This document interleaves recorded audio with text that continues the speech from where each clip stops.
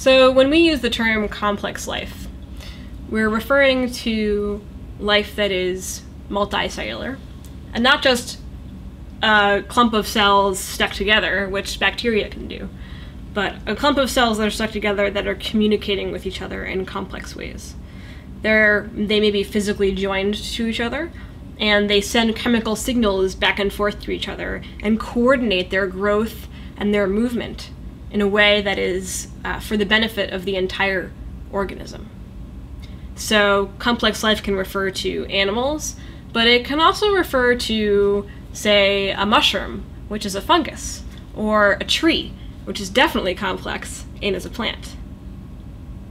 We're not really sure why complex life evolved, but there are a number of different hypotheses that we debate as scientists.